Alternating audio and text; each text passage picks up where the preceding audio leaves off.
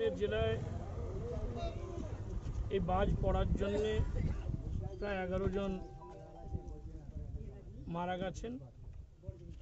আজকে আমি পাঁচ ছজনের বাড়িতে যাব। ইতিমধ্যে তারকেশ্বরের এই নাইটা পিয়াসারার অঞ্চলের শৈল মালিক আর সঞ্জিত সামন্ত তাদের বাড়িতে এসেছি।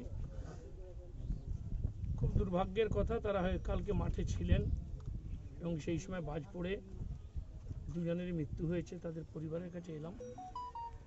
রাজ্য সরকারের তরফ থেকে আমাদের মাননীয় মুখ্যমন্ত্রী যে আর্থিক সহযোগিতা করেন, সেটা যেমনি করা হবে, দলের তরফ থেকেও আমাদের সর্বভারতীয় তৃণমূল তৃণমূল কংগ্রেসের সাধারণ সম্পাদক, সাংসদ আমাদের নেতা অভিষেক বন্দ্যোপাধ্যায় আগামী দশ তারিখ আসবেন।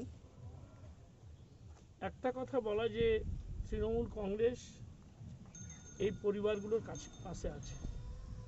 সরকারের তরফ থেকে যেমনি সরকার উদ্যোগ গ্রহণ করে সরকার পাশে থাকবে। একইভাবে আমাদের দল দলের তরফ থেকেও দলের সমস্ত সহকর্মীরা আমার এই অঞ্চলের তারা যেমনি পাশে থাকবেন একই সঙ্গে পার্টির সর্বোচ্চ নেতৃত্ব এই পরিবারগুলোর পাশে থাকবে। মানে না আমরাও ধরুন আমরাও এখন ষাট বছর হতে চলল প্রায়। আমাদেরও তো দেখতে দেখতে দীর্ঘদিন হয়ে গেল। এই জেলায় এগারো জন মারা গেছেন এরকম কোনোদিন কিন্তু আমরা ঘটনা দেখিনি। এবং কালকে তো সেরকম বৃষ্টিও খুব বেশি হয়নি। আর আগে দুদিন তিন দিন বৃষ্টি হয়ে একজন, দুজন হয়তো কখনো বাজে মারা যেতেন।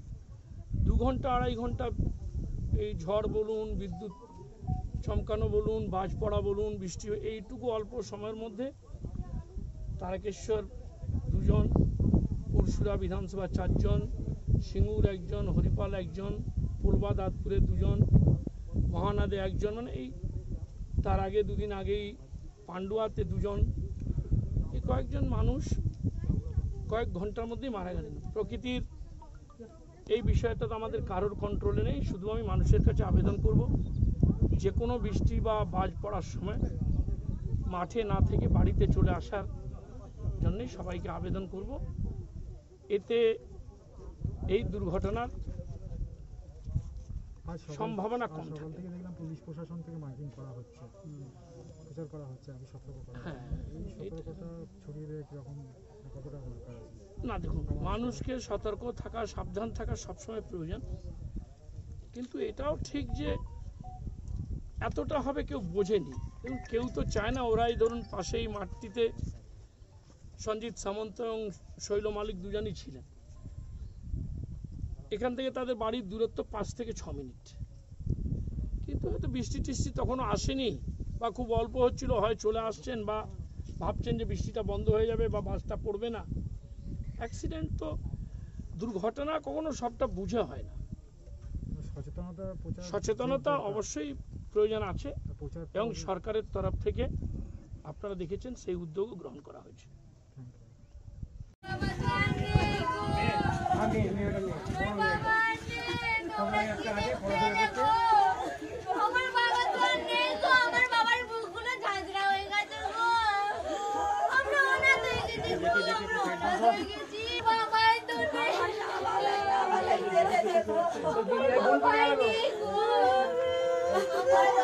কোন আর কালো থেকে পাওয়া যাবে না এই নিয়ে কর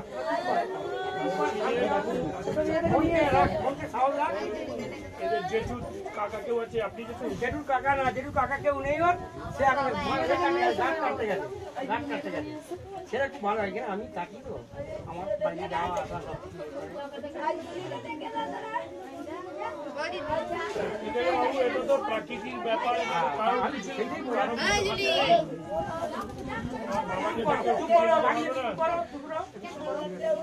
তোমাদের কিছু আর্থিক সাহায্য দেওয়া হবে, সেটাও বিডিও অফিসে চলে যাবে। দিয়ে দেওয়া হবে। আমরা সবাই আছি। কিন্তু এটা তো প্রাকৃতিক এমন একটা বিষয় যে কারোর হাতে নেই। কারও হাতে দিয়ে আছে। সেই সময়ে এটা এটা কপাল সেই সময় সে মাঠে ছিল আর অনেক লোকই তো বিভিন্ন জায়গায় মাঠে ছিল। কিন্তু চারিদিকে ঘটনা লোক মাঠে ঘটে ছিল চারিদিকে আমরা কি বলব মাঠে।